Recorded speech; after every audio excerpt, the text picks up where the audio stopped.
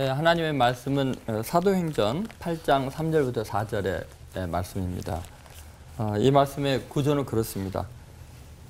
스테반을 돌로 쳐 죽이고 어, 사울이 이제 마땅히 여겼을 때 예루살렘에 큰 이제 핍박이 일어나죠. 큰 박해가 있었고 그래서 모든 그 그리스도인들이 이제 사마리아와 뭐 땅끝으로 흩어지게 되는 일이 있습니다.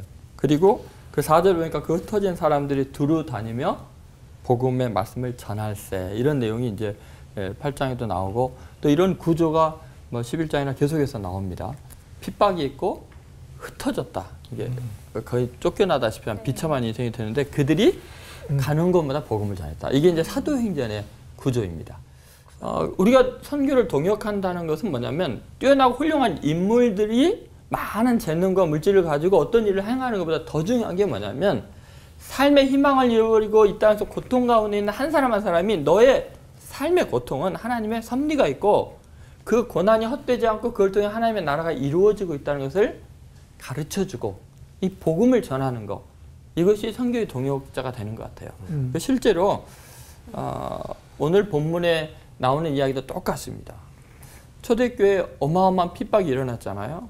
근데 그 핍박의 사건들이 에, 오늘 그 8장 1절에서 큰 박해가 나서 각지로 다 흩어졌는데 그들이 가는 곳마다 4절에서 복음을 전파했다. 이 구절을 보면 피난민은 세상이 볼 때는 피난민이지 하나님이 볼 때는 미셔너리 음. 선교사다. 이 구조를 꼭 명심하라는 거예요. 왜 그러냐면 성경 전체가 이 구조로 돼 있어요. 아브라함 어때요? 어, 70세가 넘도록 돈도 없고 아버지 밑에서 졸졸 돌아다니고 자식도 없고 조카 자기 자식처럼 사랑하면서 살았던 사람이에요. 그런데 너가 내가 지시한 땅으로 가라. 가니까 뭐가 있었어요? 흉년이 있었잖아요. 또 피난 갔잖아요. 애굽으로. 그런데 그 모든 과정이 그가 자연재해든 또 어떤 그 이집트 제국의 권력에 의해서 아내를 뺏기는 뭐 이런 비극이든 그곳에서 하나님의 주권을 드러내잖아요. 아멘. 복의 근원이 되잖아요. 음. 인간의 성교가 아니에요. 여러분 다니엘 포로로 잡혀갔잖아요. 얼마나 비참해요. 바벨론이라는 강대국 앞에 한 사람이란 한 사람의 귀족으로서 너무나 비참해졌지만 사실은 바벨론과 페르시아 제국을 지배하고 하나님의 주권을 선포하는 위대한 선교사였잖아요. 음. 여러분 꼭 기억하세요. 우리가 동역한다는 건 뭐냐? 하나님과 동역, 하나님의 미션이에요. 우리의 계획과 우리의 능력으로 이루어지는 게 아니라 우리는 어떤 형편에 처하든지 어떤 재앙을 세계적으로 만나든지 하나님의 나라가 이루어지고 있고 하나님의 성교가 은밀히 진행되고 있다고 믿어야 돼요. 그럼 여러분 개인 개인 삶, 저희 개인의 삶 속에서도 고난이 아픔이 있는 것 같지만 실제로는 하나님의 성교가 진행되는 거예요. 나는 핍박자가 아니라 미셔널이다. 그 의식을 가지고 어떤 고난 속에서 하나님의 섭리와 하나님의 능력과 하나님의 영광을 맛보면서 승리하는 여러분 되시기를 주의 이름으로 소망합니다. 네. 기도하겠습니다. 하나님 아버지 알 수 없는 박해와 자연재해와 전쟁의 공포 속에 떨고 있지만 역사를 주관하시는 분은 하나님이시고 세상 나라가 무너져 가지만 하나님의 나라가 세워져 가는 줄로 믿습니다. 아멘. 낙심하고 좌절하지 않고 서로 돕고 격려하면서 하나님께서 친히 이루시는 그 나라를 바라보며 선교에 매진하는 저희들이 되게 하여 주옵소서. 아멘. 예수님의 이름으로 기도합니다. 아멘. 아멘. 해외 선교를 하시면서 약한 자를 사용하시는 하나님의 역사가 기억에 남는 사건이 있으시다면 어떤 어떤 게 있는지 한번 들려주시면 네. 좋을 것 같습니다. 네, 해외 정말 여러 군데를 이제 단기 선교를 갔는데 단기 선교를 갈때 아, 뭐 거의 1년 가까이를 준비를 해가지고 한 16가지 되는 여러 가지 공연 프로그램, 복음이 다 들어가 있는 음. 아, 공연 프로그램을 가지고 이제 한류가 유명, 유행하기 전이었던 것 같아요. 음. 굉장히 많이 있는데 한 번은 이제 에, 제가 한국에서 주유소에 주, 주유를 하는데 어떤 그 키가 큰 노란 머리를 하고 막 밀고 이상하게 이제 생긴 청년이 혹시 목사님 아니세요? 그러는 거에서 어 맞다 그랬더니 어떻게 알았어요? 했더니 어 제가 지나가다가 외로워서 한번 교회 들어갔는데 목사님 설교가 좋대요 그러는 거예요. 어. 아 그러냐 그러면 다음 주일날 나 좀 찾아와라 그랬어요. 그래서 왔어요. 그래서 너 뭐하니? 그랬더니 자기는 주유소에서 알바를 6개월을 하면은 거기에서 한 두 달 정도 그 학원비를 벌 수가 있대요. 그 학원비로 댄스를 배운대요. 그래서 네 꿈이 뭔데? 그랬더니 자기는 뭐 초등학교만 나오고 중학교 중퇴인가 뭐 하고서 집에서 하도 맞아서 이제 서울에 와서 백댄서가 되는 게 꿈이래요. 가수들이 노래하는데 백댄서가 되는 게 꿈이래. 그래서 내가 어 그러면 학원 많이 다니니까 굉장히 많이 다녔대요. 어 그러니 그러면 이번에 아프리카 선교에 나랑 같이 갈래? 케냐하고 남아공에 그 걔네들이 춤을 좋아하잖아. 네, 우리가 맞아요. 댄스 팀이 있는데 오. 전문적으로 가르칠 사람이 없어. 아. 그러니까 네가 배운 거 가르쳐 주라 했더니 얘 얘한테 맡겼어요. 그랬더니 저 같은 저 교회 다니지도 얼마 안 됐는데 저 같은 사람도 괜찮아. 그래서 괜찮아. 너는 이 분야에서는 최고야. 네가. 그러니까 네가 다 책임져.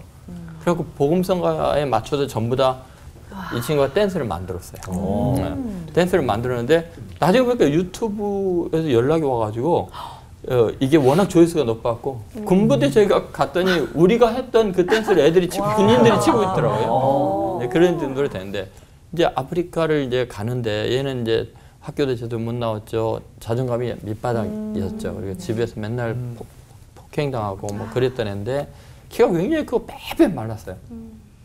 아프리카에 제가 분명히 선교를 갈 때는 아, 선교할 대상들 학교들 다 연결해 달라 그러는데 이 선교사님이 보통 비전 트립 오고 그러면 이제 여행만 다니니까 여행 코스만 잡아놓은 거예요. 아. 그리고 제가 다 취소하고 직접 학교를 찾아갔어요. 그냥 고등학교에 찾아가서 교장 선생님한테 낯선 한국인들이 와가지고 공연 좀 할 수 있게 해달라. 학생들 한국 문화를 보여주고 싶다. 이렇게 하니까 뭐 설득이 되나요? 안 되죠. 예정이 없던 시간이에요. 근데 그럼 점심 시간에도 하게 해달라. 점심 시간에 그 남아공, 케냐 뭐 이런데 학생들이 가득 운동장에 모여갖고 막 박수 치고 기뻐하고 너무 감동을 하는데 특히 이 친구가 춤을 추잖아요. 아프리카 애들이 다 난리가 나요. 한류 스타가 언제 아는 거예요. 한국. 어. 그러니까 얘가 갑자기 밑바닥 인생에서 아. 스타가 되는 거예요.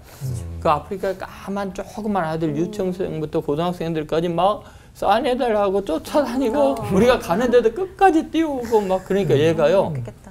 갑자기 자기에 대한 이 자존감이 음. 막 울면서 나를 이렇게 귀하게 여기는 인정해 주는 것이 처음이라는 거예요. 그래서 제가 그랬죠. 너가 하나님을 위해서 인생을 헌신하기로 하면 하나님께서 너를 높이면은 네 힘으로 높아지는 건 비교가 안 된다. 그냥 돌아와서 얘가 너무 열심히 사는 거예요. 또 알바 열심히 하고. 그래서 야, 이제 제가 그 훈련 시키는 제 제자 중에 전사님이 너 그 학벌 갖고 안 된다. 검정고시 공부해라. 했고 검정고시 공부하고 정말 아무 학원도 그 뭐 그 춤추는 그것만 다녔는데 한국 예, 예종에 합격했어. 네, 그리고 지금 대학원에. 어, 다니고 있고 결혼을 이화여대 나오는 어떤 목사님 딸하고 결혼해갖고요. 저를 만나 제가 만나기도 힘들어요. 유명해져가지고. 제가 이제 그 아이의 인생을 이렇게 보면서 제가 너무 고마워서 제 책에 추천서를 걔한테 써달라 그랬어요. 음. 예, 근데 글을 너무 아름답게 잘 쓰는 거예요. 하나님을 만나고 나니까 부모님이 전혀 예수를 안 믿고 교회 간다면 때리던 그분들에게 제 책에 추천서 써준 그 책을 제가 선물로 보내드렸더니 너무 놀라셔가지고 내 아들이 이렇게 훌륭한지 몰랐다. 그 글을 읽고 자기 아들이 쓴 글을 읽고 눈물을 흘리면서 나도 예수 믿고 싶다. 할렐루야. 그 집안이 다 구원받았어요. 와우. 그러니까 사실은 우리가 누군가를 돕고 복음을 전하기 위해서 가지만 사실은 그렇게 쓰임 받는 우리 존재 자체가 하나님께서 우리를 가장 위대하게 만드는 우리가 은혜 받는 기회라는 거죠. 그러니까 선교를 아까 말씀하셨지만 우리가 누구 도와주러 가는 게 아니에요. 뭐 이런 이야기 하면 끝이 없지만은 그 제자들을 파송할 때 누가 보면 그자 보면은 제자들에게 능력과 권위를 주시거든요. 근데 놀라운 것은 부름 받은 시점과 권능과 능력을 주신 시점이 차이가 안 나요. 그건 뭐냐면 수련이나 도 닦아서 능력 얻는 게 아니고 주시는 거 왜요? 약하고 귀신 들리는 사람을 고치려고. 다시 말해서 누군가의 필요 때문에 내가 위대해지는 거예요. 선교는 그런 마인드로 해야 돼요. 그래서 꼭 아, 우리가 아, 약한 자를 돕는 게 아니라 그 약한 자들이 나를 위대하게 만드는 하나님의 놀라운 은혜의 세계 그것이 선교다. 아, 그렇게 생각하면 될 것 같습니다.